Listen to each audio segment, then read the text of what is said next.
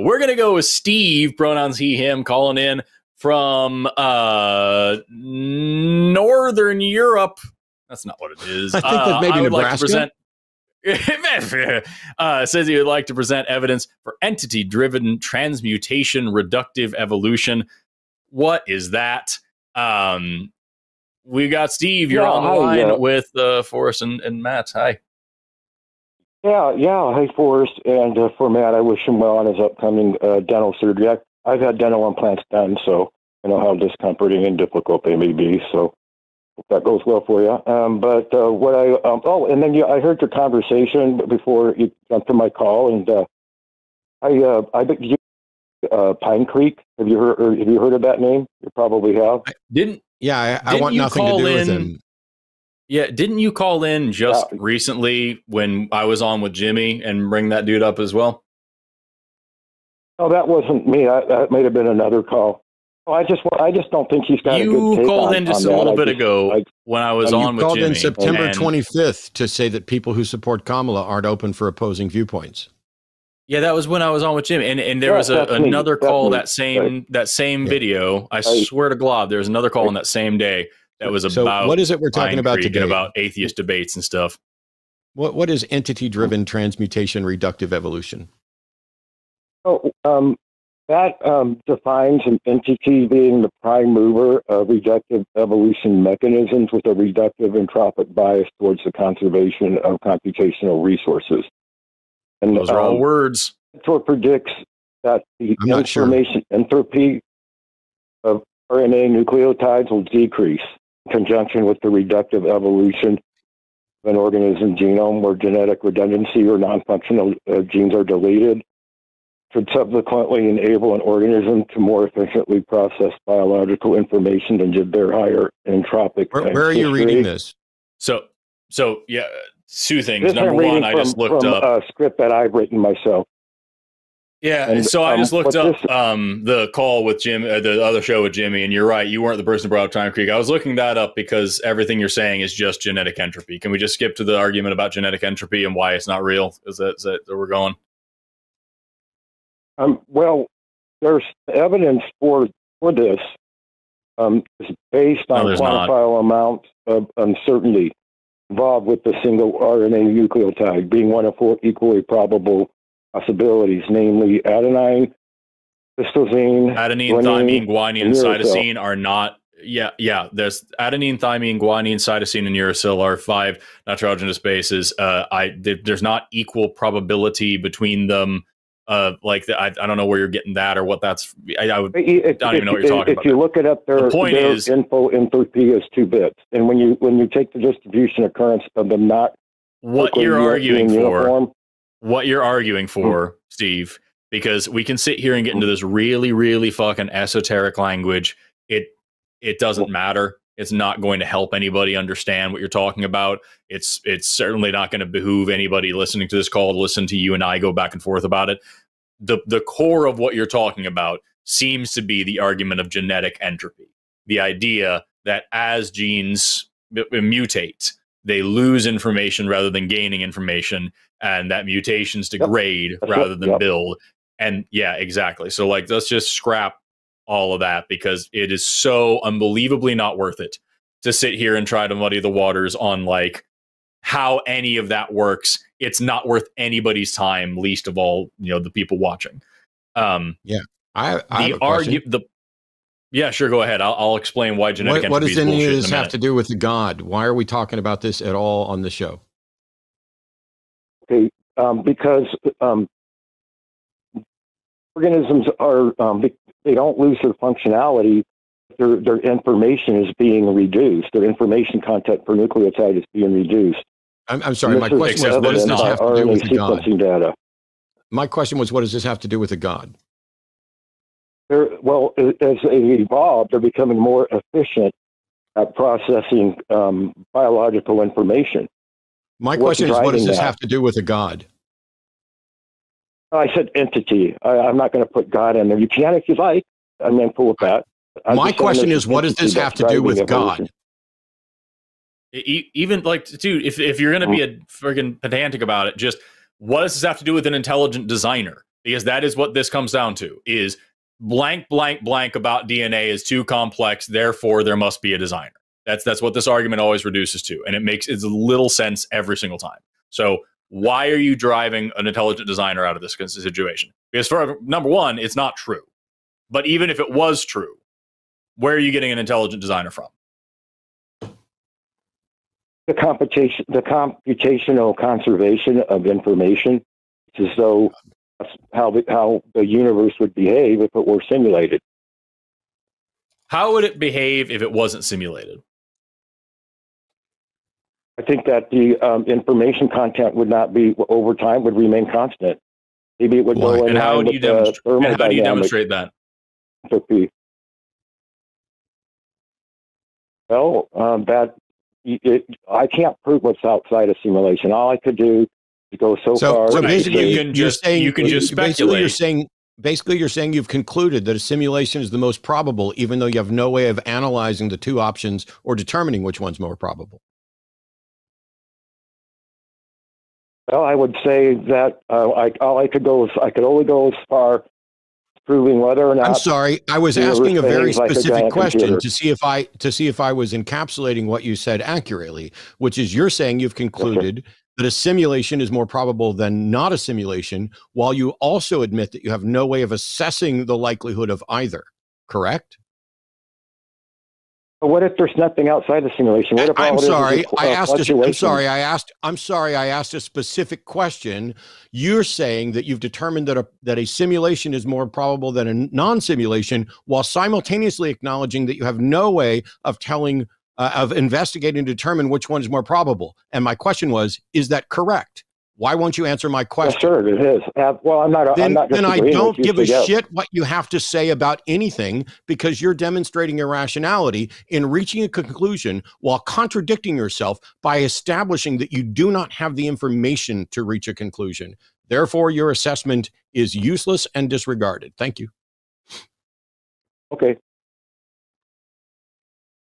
Yeah, if I encourage you to take some time to learn how mutations actually work and learn why genetic entropy is bullshit because there's plenty of uh, situations where mutations aren't just degrading, aren't just losing information, aren't just you know destroying DNA, aren't losing you know, bits of information, all these different things you're talking about. Um, that none of this violates the laws of thermodynamics. I heard you throw that one in there as well. None of this makes any difference. And even if it did, then you would be left saying we don't understand the mechanism by which we gain this information. You would have no reason to then go on and say, therefore, there must be this guy that's making this stuff happen somehow. That would be a massive leap of logic and faith that you don't need to be taking.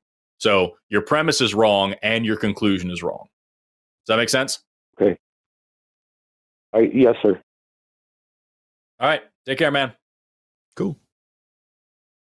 the like so just so everybody's aware when we talk about mutations and I- i'll be very brief about this i know this isn't the science show on this one but like well, I'll listen to you um, for hours. I just was done listening to Steve. yeah it, what, what's what's frustrating about that there's this famous like kind of like eh, just anecdote story thing like this you know uh professors and student are talking and the student says you know, you know or the professor says i i forgot what- how to say but one person says how is it that so many people believed that the sun revolved around the earth instead of the earth revolving around the sun or the earth spinning um Yes. and the other person says uh, well, obviously, because it just looks like that. It looks Yeah, like what the sun is revolving Yeah. around. Yeah, exactly. And they say, okay, so what would it look like if the Earth was spinning? It would look exactly like this. And so when you have somebody like Steve calling and saying, "Well, I," it, it just makes sense that that you know if if you know, the DNA is doing this, that must be simulated because if it wasn't doing that, it would be this other thing. You, how do you check? You have no evidence for that. You have no way of testing this. You're just saying, well, it would be this thing when what you're describing in either case is what you're seeing. The naturalistic explanation and the intelligent design explanation can both have the same result here. You have to show evidence for this intelligent designer. You can't just say, well, things would be different if it wasn't, and then Yeah, expect that to be the entire argument. It's one of those things where we all do this to some extent because it's a fast work, fast world. and we speak in shorthand and we make assumptions that mm-hmm. when I'm using a word, you mean the same thing by the word, and that mm-hmm. you kind of have some understanding that's similar to mine. And so when people make the it just makes sense argument, and they don't always use that particular language to frame it, but it's like, you know, when I look at the world, it just seems more probable that there's a designer than, you know, an intelligent designer than not.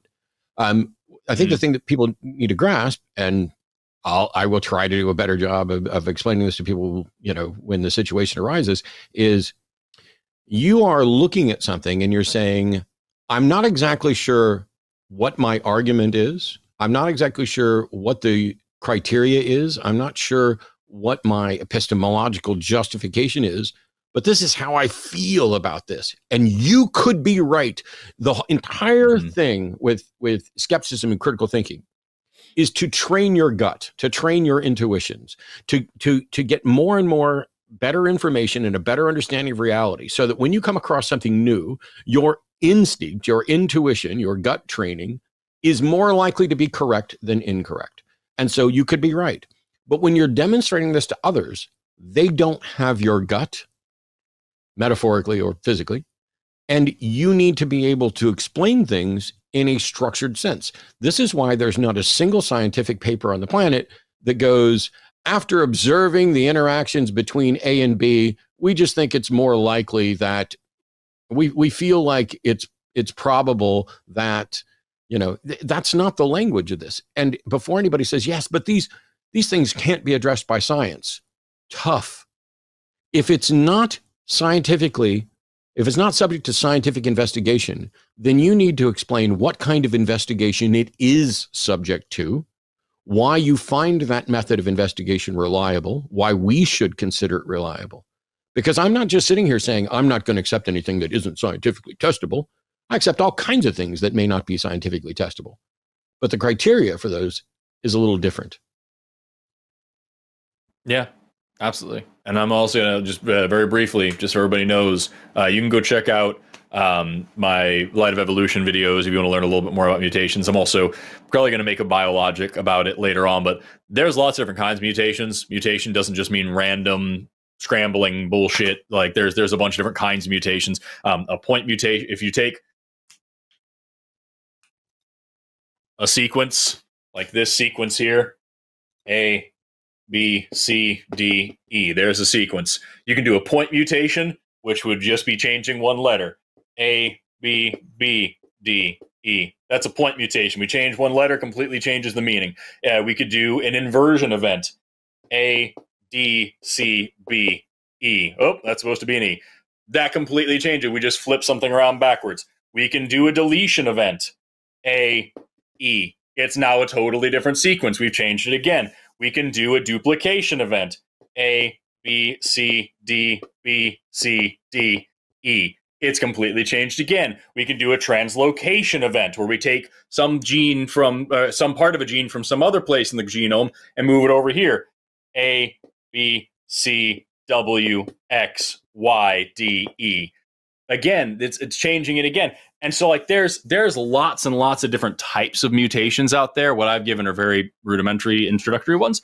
Um they're just the basics, but like you can you can have all sorts of different like ways that genes can be moved around and, and mixed up and turned around and duplicated and all sorts of things. Silent uh, uh, uh, uh a point mutation can be either silent, meaning it has no real effect, nothing changes. It can be a missense mutation, meaning it codes for a different amino acid now and changes the protein that it was coding for. It can be a nonsense mutation, meaning it codes for stop and it completely the rest of that uh, protein is not being synthesized anymore. Proteins sometimes do, do dual coding, which means you start reading at different points on the gene and produce different effects. Um, uh, genes uh, include introns and exons. The introns have to be removed um, in order to to mature the DNA. Depending on which introns are removed or where or why, you can produce different effects. Different genes or, uh, or the gene can be expressed in different ways.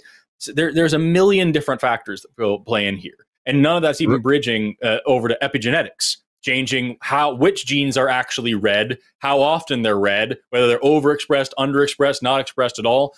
Um, it's the reason why you have the same genome, the same DNA in your eyeballs and your bones, and yet your eyes are made of eye stuff and your bones are made of bone stuff. It's because different genes are turned on and off in these different cells.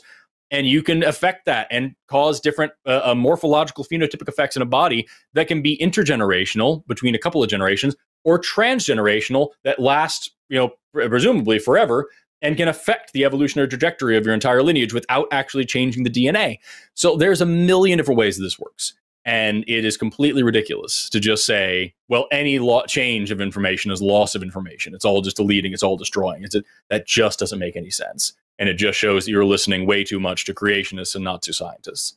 Sorry, Matt, you look like you have a thing to say. Two quick things. Uh, one, Yeah. remind me later, probably after the show or whenever we get time to talk. I got into an argument with uh, some Kenyan sandboa breeders um, about uh, paradoxing and recessive traits, but also everybody was marveling about your whiteboard. Um, but you should marvel that I have a Galton board right here. And when Forrest referenced a Galton board one time on the show, it was also right here because it's always on my desk. And I was like, I have a visual aid to help Forrest. Just boom, here I- we go. I love that thing. I had one of those for a minute, They're and I used it to teach with, and then I had I, I got rid of it. But I want to buy another one. They're so freaking cool, and they're such a good Wow. demonstration of like how sometimes math makes more sense than your than sense does. You know what I mean? Yeah. Hey, if you liked this video, why don't you click that like button? And if you didn't That's like it, you would say. subscribe. Okay. You didn't even give me a chance. There was such a long pause. Two What? minutes What are you? What are you on speed or All right, let's try. something? I barely had a Let's chance. try again. Hey, I hope you liked. oh, hey, I hope you. Fuck. Hey there. I hope you liked that clip. Hey, I hope you liked that clip. clipper just now, that the one that you just watched with your eyes. If you did like it, why don't you click that like button? And if you didn't like it, tell Jimmy to go fuck himself. Hey, I hope you liked that clip right now. If you did like it, why don't you hit that like button? And if you didn't like it, go ahead and subscribe anyway.